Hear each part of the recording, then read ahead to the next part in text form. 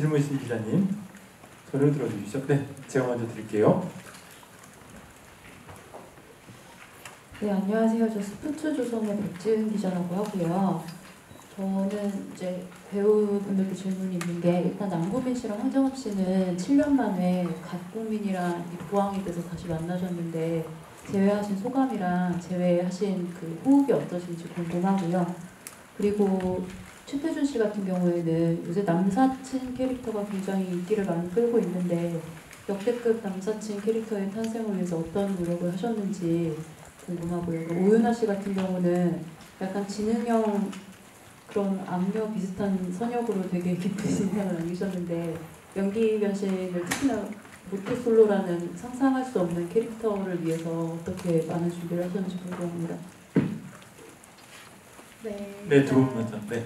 저는 미니 오빠랑 7년 전에 내 마음 들이라는 작품에서 이제 같이 이제 남매로 네, 나왔었는데 그때 제가 시트콤 끝나고 얼마 안 돼서 이제 막 정극에 할때 되게 연기에 대한 그런 열정이 지금도 많지만 그때 진짜 막 텐데 미니 오빠 보면서 아 연기를 정말 너무 디테일하게 잘하는 오빠구나라는 생각을 했었어요. 그런 기억이 많은 오빠고 또 굉장히 연기는 되게 계산적이고 디테일한데 또 되게 편하고 너무 좋은 네, 성격도 너무 좋고 그런 오빠로 어떻게 저렇게 계산적인데 성격은 또 저렇게 여유롭고 이럴 수 있나라는 생각을 했던 그런 이미지가 있었어요. 그래서 그러, 그러니까 좋은 이미지죠. 음.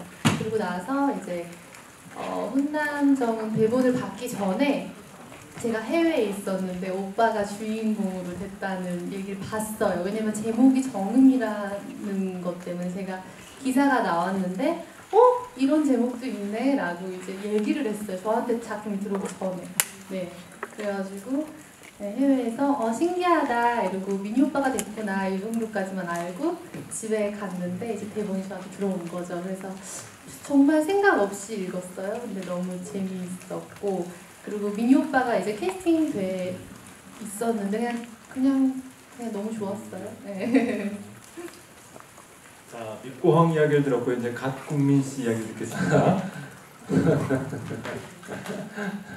아니 뭐 사실 정음이랑의 호흡은 오래전이긴 하지만 어, 좋았다라는 생각은 항상 하고 있었는데 이번 작품을 하면서 어, 상대방 연기를 보고 있는데 너무 기분이 좋아질 정도로 아 이 작품에서 이 시는 이런 식으로 나오겠구나라가 어, 편집이 다 된 상태에서 보일 정도로 너무 연기를 잘해 주셔가지고 항상 좀 흐뭇한 마음으로 어, 제 쪽이 찍을 때가 아닌 어, 정미가 찍을 때도 너무 기분 좋게 보고 있어요.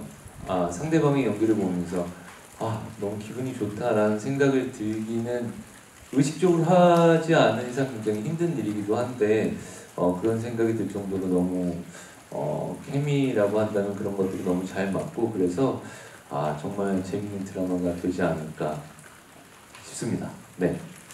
감사합니다. 자, 남사친 우리 태준 씨.